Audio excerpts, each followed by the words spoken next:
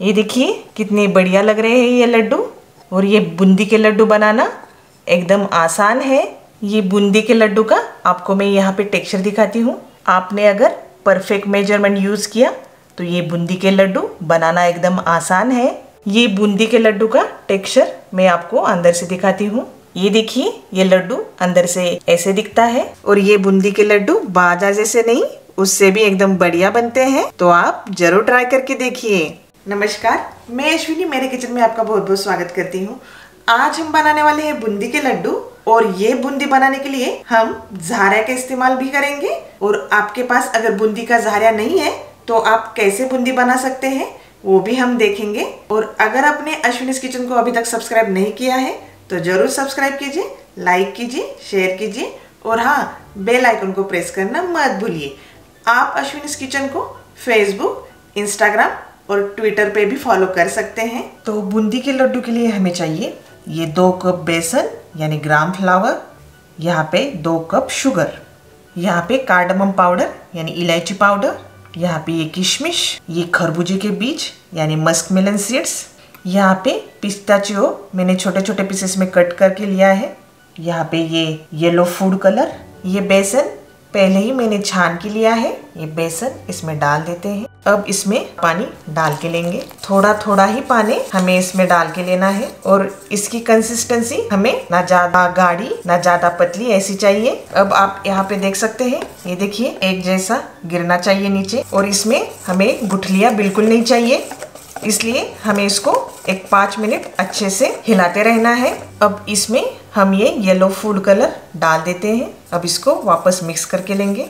इससे हमारी बूंदी अच्छे से पीले रंग की बन जाएगी। अब ये फ़ूड कलर इसमें अच्छे से मिक्स हो गया है।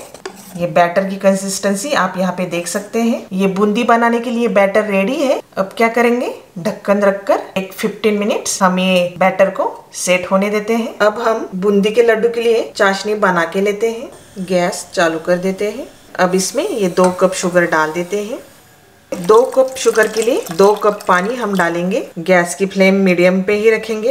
ये शुगर जो है, पानी में मेल्ट होने लगी है। ये बूंदी के लड्डू के लिए हमें एक तार की चाशनी बनानी है। ये आप यहाँ पे देख सकते हैं। ये शुगर पूरी तरह से ये पानी में मेल्ट हो गई है और ये शुगर सिरप को अच्छे से उबाल आना चालू हो गया है। ये देखिए, हमारी चाशनी रेडी है।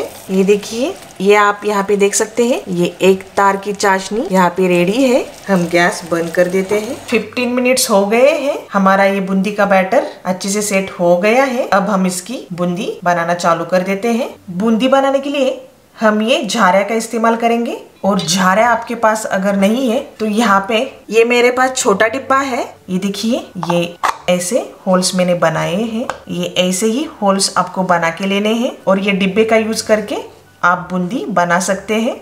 गैस चालू कर देते हैं। यहाँ कढ़ाई में मैंने ऑयल डाल के लिया है। आप चाहे तो घी भी ले सकते हैं या फिर डालडा भी यूज़ कर सकते हैं। गैस हमने मीडियम फ्लेम पे रखा है। ये ऑयल अच्छे से गर्म हो गया है। हम पहले ये डिब्बे का यूज़ करके बूंदी बना के लेंगे। ये हमने इसमें डाल दिया बैटर ये देखिए कितनी बढ़िया बूंदी हमारी बन रही है। ये ऐसे टैप करेंगे। आपके पास अगर बड़ा डिब्बा है तो आप वो भी ले सकते हैं, क्योंकि उससे फिर ज़्यादा क्वांटिटी में बूंदी आप बना सकते हैं। ये देखिए कितनी बढ़िया गोल गोल बूंदी बन गई है। तो आपके पास अगर झारा नहीं है तो आप ये डिब्बे में होल बना के बूंदी बना सकते हैं। और ये बूंदी को हमें ज़्यादा ब्राउन कलर पे फ्राई करके नहीं लेना है। ये बूंदी हमारी बन गई है। हम इसको निकाल देते हैं। ये देखिए एकदम गोल गोल बूंदी रेडी है। ये जाली में इसको निकाल देते हैं। डिब्बे का यूज़ करके बूंदी कैसे बनाना है, वो तो हमने देख लिया है। अब हम ये झारिया का यूज़ करके बूंदी बना के लेते हैं। ये बैटर इसमें डाल देते हैं।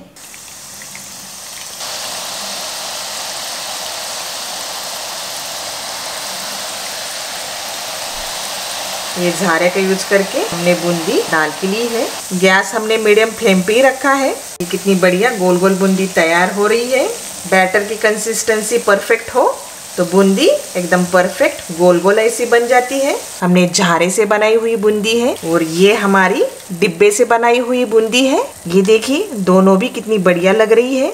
अब ये बूंदी को हम इसमें निकाल देते हैं। तो अगर आपके पास झारिया नहीं है तो कोई परेशानी की बात नहीं है। आप डिब्बे से भी बूंदी बना सकते हैं। अब इसी स्टाइल से हम ये बचे हुए बैटर की बूंदी बना के लेते हैं। ये देखिए, हमने पूरे बैटर की बूंदी बना के ली है। एक जैसे गोल गोल ऐसी ये बूंदी हमारी बन गई है। अब ये बूंदी को हम चाशनी में डाल के लेते हैं। गैस चालू कर देते हैं। ये चाशनी हमारी ठंडी हो गई है। हम इसको गरम करके लेते हैं। ये चाशनी हमारी गरम हो गई है। ये इसमें बूंदी डाल के लेते हैं।